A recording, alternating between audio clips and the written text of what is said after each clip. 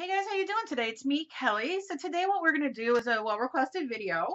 Um, I have so many requested videos. This is to draw a basic folk uh, folk girl face and folk art girl face. And um, I'm sorry, brain fog today.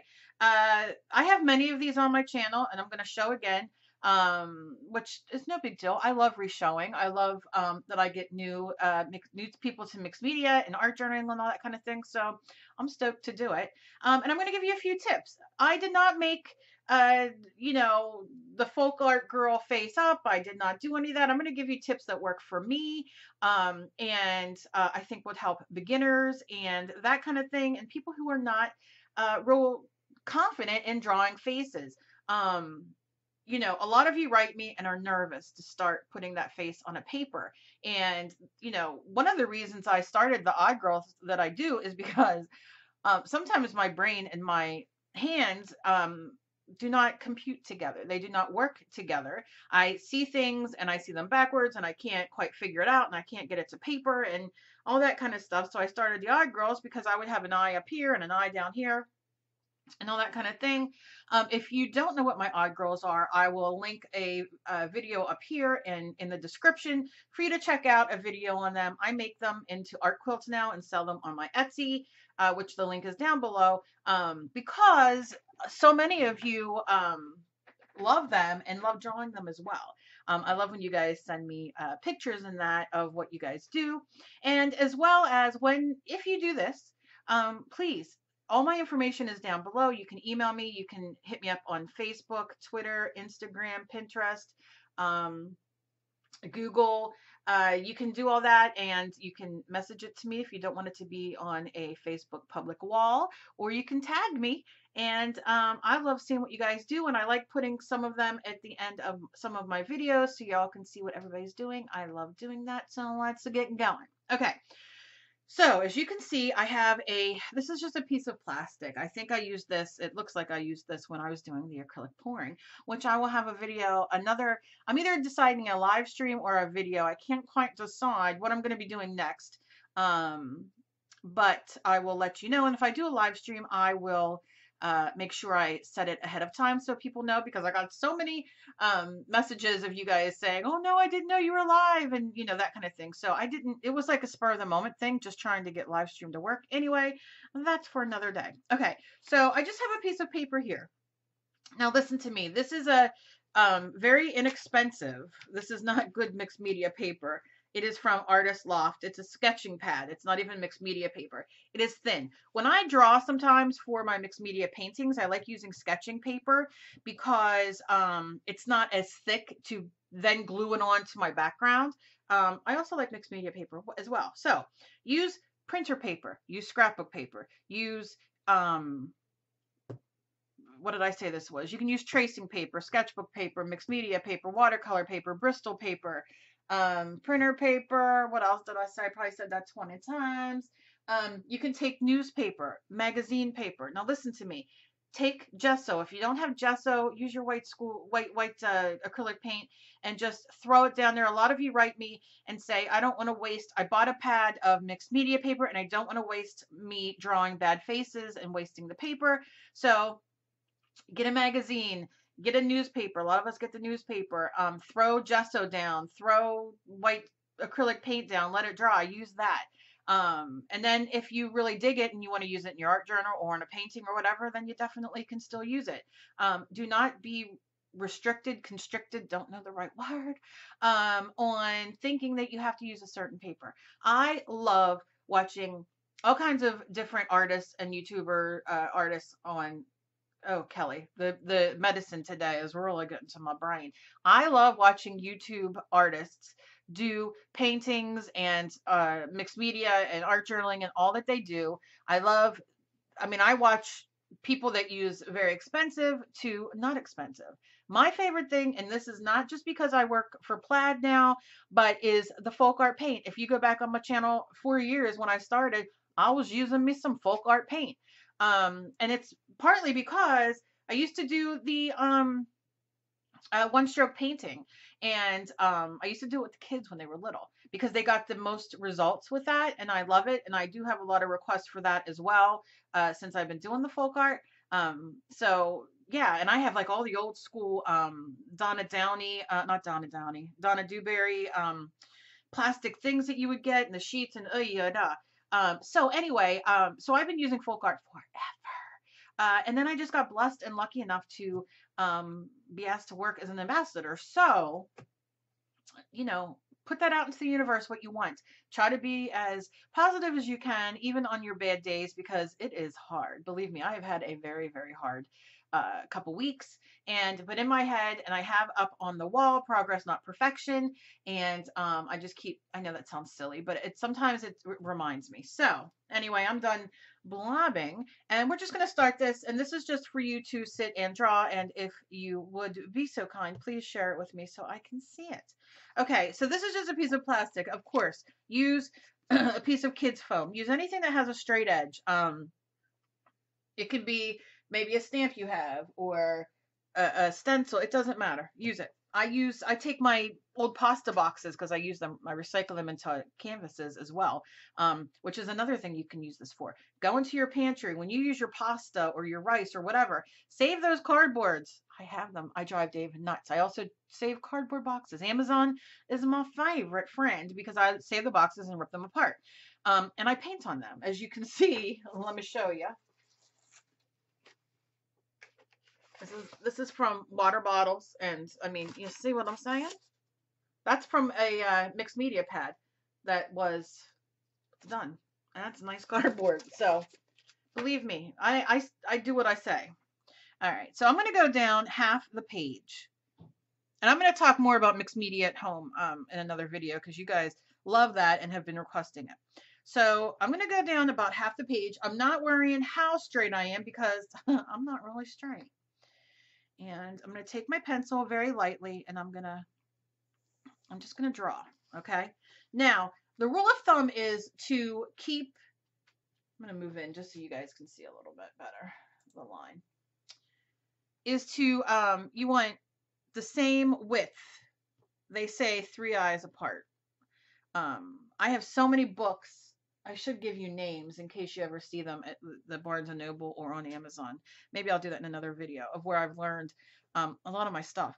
So um, three widths of your eyes. And what I do is I mark kind of what how wide I want it. And this I use my um, Stabilo Stabilo All. I love this. Um, it's one of my favorite things in the world. But of course, use your pen, pencil, colored pencil. It doesn't matter what you use. Um, and I marked as wide as I wanted. So what I'm going to do is I'm going to kind of kind of judge in the middle, kind of very lightly, and just kind of put a line down the middle. So I'm making kind of a cross. Why is my light blown out? Um, and what we're going to do is I'm going to see if I can see if I can get you guys a little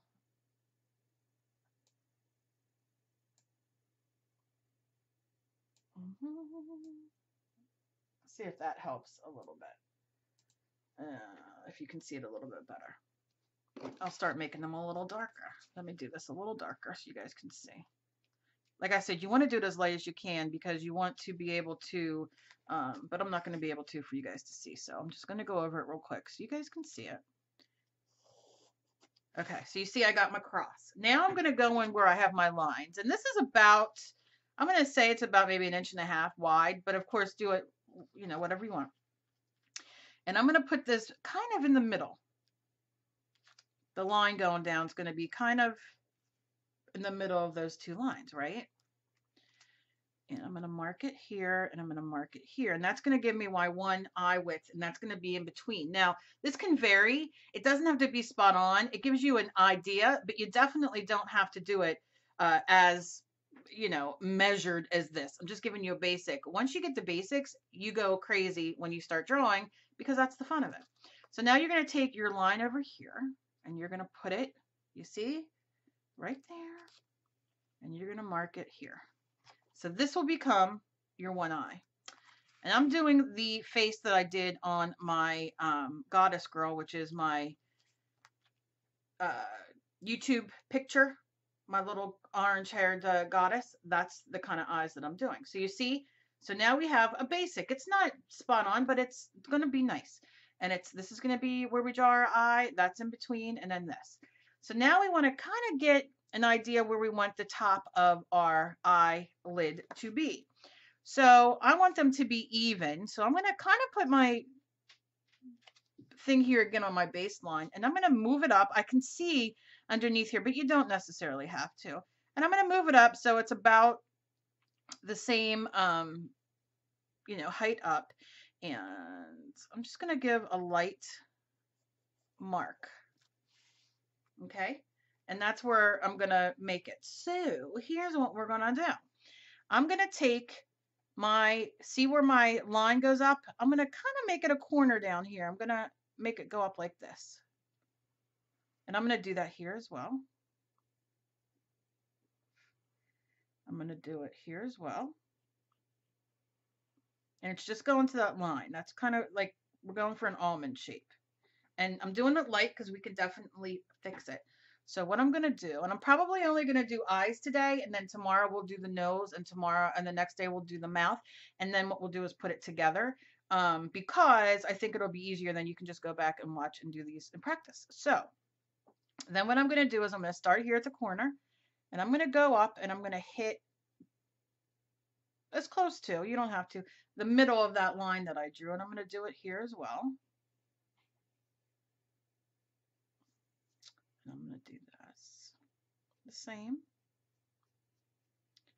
And that the same. And this is all erasable and, you know, we can fix it. I just want you to kind of get an idea. So you see, we have our eye started. Then this is going to become the base of our eye.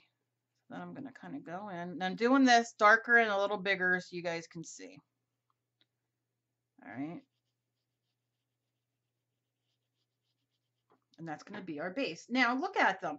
We have the same height basically, but they're not the, quite the same shape.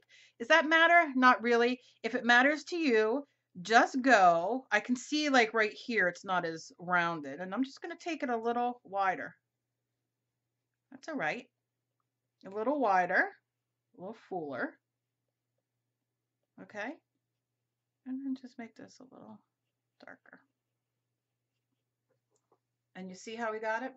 Now I'm going to take my eraser, use whatever you have, and I'm going to erase my little lines that I drew to measure.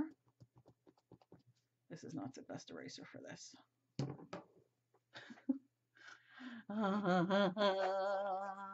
Let's see. Yeah, you need a harder eraser. That's what she said. Okay. All right, just a little bit. And I'm going to take this line off of your guide. And then you're going to go in. You can see I erased a little bit of it, and that's okay. But I'm going to kind of go in light again because I want to make sure I like what I got. Okay, yeah, I'm pretty happy with that. So here's where you can do, if you have a circle, uh, template. I'm not going to use one, but if you have one, you can definitely use it. I'm going to go in and add a circle in the middle. And because this is a flat one, straight line, it's going to, you know, go all the way down. So I'm just going to kind of go in. And you see how I just added a circle, and I'm going to do it here too. Now I can see this one's bigger, so I'm going to go in. That's how you do. It's it's not a big deal. Just kind of go in. And if you are somebody who would rather kind of go in and draw your circle because you get better flow, then by all means, go in and draw your circle. You know what I'm saying? And now you can see this is where every time you do something, make sure you look like to see like oh okay you know what this is a little wider than this and this eye looks definitely better so i'm going to kind of go in and you can see here's where i put the outside And here's that guideline right there, right? Right here's the guideline outside. And here it's much closer.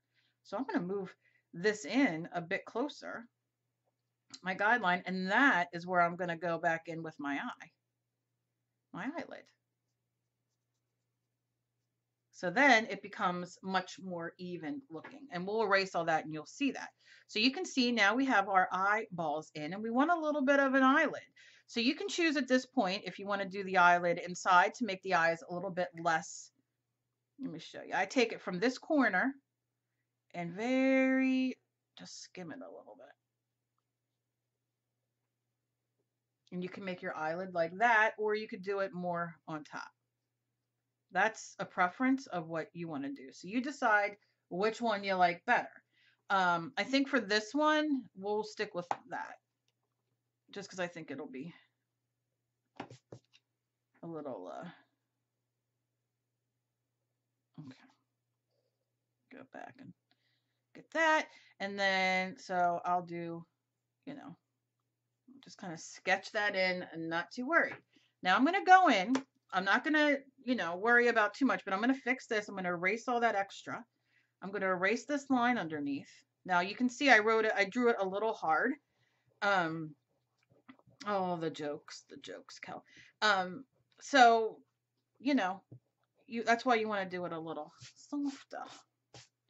And I'm just taking some of these lines out. I'm not worrying too much because we're just sketching to get what you want. You know what I'm saying?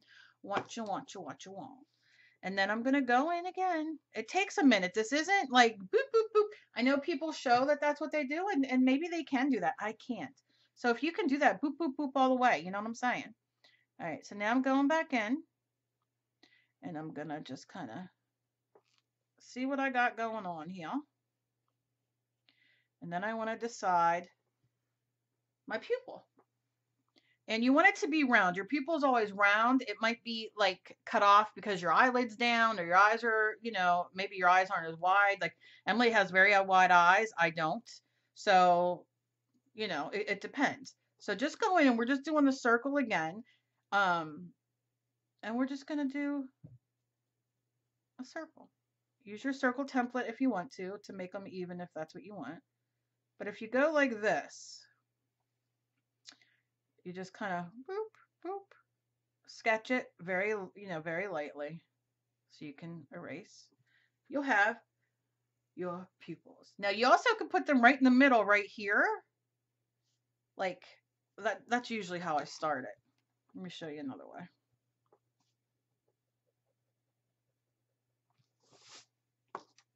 So I just look and I'm like, oh, okay, the middle of my eye is right here, which that's where your pupil is. Okay, so that's my pupil. So then what I kind of do, because I, like I said, my brain does not work well with my uh, hands. And I just lightly sketch, sketch, sketch, sketch, my pupil. And I just make it go around in circles very lightly. And you could do this with a paintbrush, it doesn't matter. And then you can always go in later and you know firm it up a little bit you know make it look a little bit rounder and darker whatever you want it's just so you have that sketch in there so you kind of know what you're dealing with right and then what I like to do and we're gonna finish the eyes now the eyebrows um kind of go I don't know. I'm kind of not like an expert on eyebrows because if you saw mine, you would know they're a mess and my daughter yells at me all the time. But however, um, you know, eyebrows are kind of you know, some like them thick, some don't. That's what she said. Oh my goodness, again. All right. Anyway, that's where, and we'll deal with eyebrows later. But, you know, just so you get a better view. So then what I like to do is, this scares the crap out of people. I take my eraser, use a good one. Um, go to the dollar store and get one of those red school ones we used to have or whatever. Um, this is a Prismacolor I got into a pack of like Prismacolor pencils or something. Okay, so we see where we're at. We're taking this the lightest, lightest, right? Here we go, here we go, here we go, here we go. We're going, we're going, we're going, we're going, everybody's going. All right. Okay. I'll quit singing and be a little faster. I know somebody who just finds my video will be like, rah, rah, rah. And those stupid jokes. Look, I find them, I think I'm very funny on certain days. And when I, when I'm thinking I'm funny, I'm going for it. And I don't care. All right. So you see, you can see, see it kind of, but not really, but kind of. So now's when you will take your permanent marker uh, or pen or, you know, what have you. you use a colored pencil, whatever you have. And um, go to your dollar store. They have permanent markers there. And you can get the fine, you know, or the thicker. Doesn't matter what you have. The point is, is you're just getting, you know, you're to be doing it. So what I'm to do first is I'm to draw. I can see this bottom line if my pen works.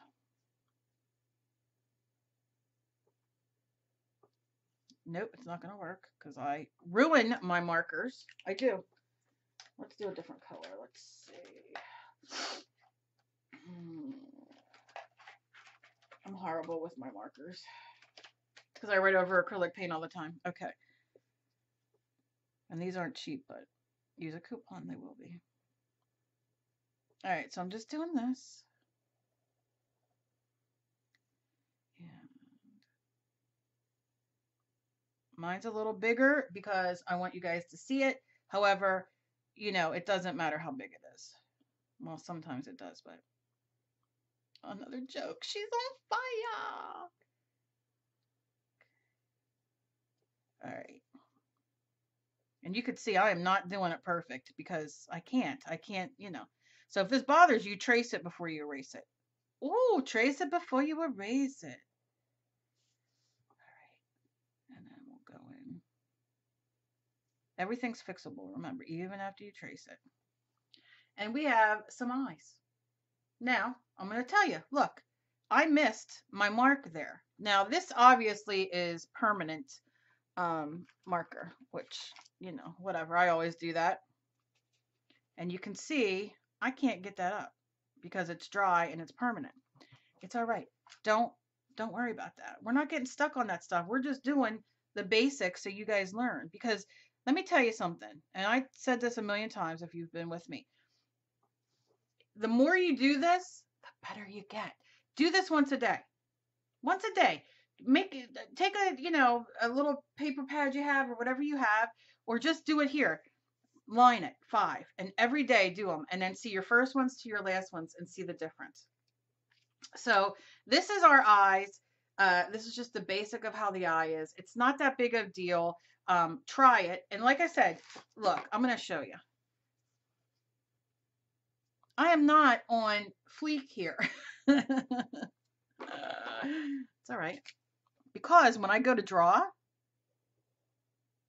you'll see at the end, when I go to draw my face, I'm going to cut some of that eye off. And when I cut, uh, it's wet and it's bleeding. Um, when I cut that eye off, it's going to look normal. So there's always ways to fix it. And I'm going to show you guys how. So don't get caught up on all these little details. We're going to make it look nice. Um, just remember the base of what I've, I've told you to make it look, because one of the things people do when they draw is they don't necessarily measure the in between. And what happens is you have an eye here and an eye here, which is great if you've already, if you're comfortable in drawing and you don't care. Um, and then people are like, oh, it doesn't look good. It doesn't look good. It doesn't matter. Look, we're going to fix it. It's going to be good. So check out my video tomorrow where we'll be doing the nose. Um, and then we'll be doing the lips and then we'll put her together into a nice little cute face uh, for you to do with whatever you want. But this is practice. This is fun. As always, please be kind to each other. You never know what battle somebody else is fighting. If you enjoy my videos, please share me around. Please press that like button and subscribe if you're not already. I would appreciate appreciate it. And um, remember, progress, not perfection. We are just we're just doing stuff. We are making progress. And I love you guys so very much. I can't even I can't even thank you guys enough for watching my videos and sharing and all your comments. I'm very, very blessed. And um, share, like I said, share what you guys do because I love it. And all my links are down below. So check them out and you can follow me everywhere. I love you guys and I'll see you in my next video. Bye.